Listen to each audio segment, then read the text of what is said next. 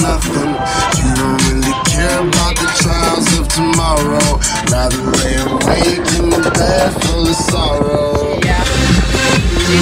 I can you get it enough? Watching the fucking whatever I call it, I'm not You're asking, sending them all my love.